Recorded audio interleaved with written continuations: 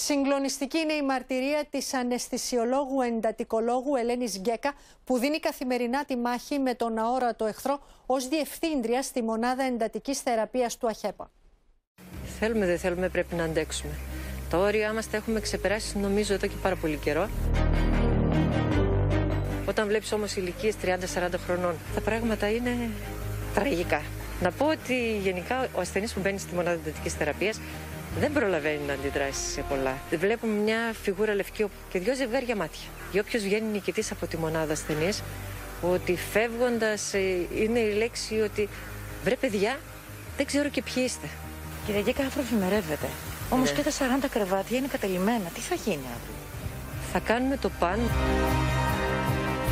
Είναι λίγοι αυτοί και πραγματικά τους θαυμάζω αυτούς τους ανθρώπους που λένε ναι θα αντέξω, θα αντέξω με το μηχάνημα, θα αντέξω να με τσιμπήσετε, θα αντέξω να με ταλαιπωρήσετε, θα αντέξω γιατί πρέπει να το αντέξω. Την ώρα που φεύγω από το νοσοκομείο και βλέπω κίνηση, πόσο ε, πραγματικά θέλω να σταματήσω και να τους πω παιδιά, μην είστε όλοι αθλητές πλέον. Μην περιμένετε την καραντίνα για να τρέχετε στους δρόμους. Μην στέλνετε το SMS ότι πρέπει να πάω βόλτα για κάποιο λόγο. Μην στέλνετε